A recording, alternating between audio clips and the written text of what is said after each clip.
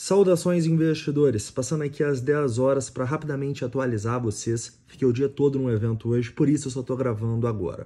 Mas vamos falar um pouquinho sobre o que aconteceu no Bitcoin nos mercados nos últimos dias. Primeiramente, em relação ao Bitcoin, os últimos dias foram de uma consolidação entre as regiões de suporte dos 18.500 dólares e dos 20.200 dólares. Essas continuam como sendo as zonas mais importantes para a nossa tomada de decisão. Rompeu os 20.200, 20.300 ali, ótimo sinal. Perdeu os 18.500, começou a fechar candle ali embaixo, toma cuidado. Falando um pouco sobre o S&P 500, a gente também está numa consolidação.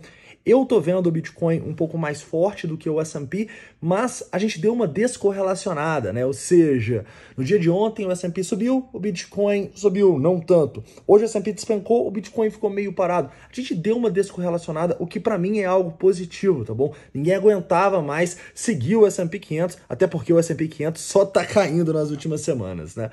Continuando, falando um pouquinho aqui agora sobre análise de sentimento. A análise de sentimento ela está melhorando, ela está melhor em relação aos últimos dias. A gente tem um long short rating em 1.3, a gente tem um CVD que deu uma caidinha aqui nas últimas horas, mas nada disso está sendo muito confirmado por Open Interest, tá? Então eu não tô muito de olho para fazer operações no Bitcoin. Na verdade, eu tô mais de olho naquelas duas zonas decisivas.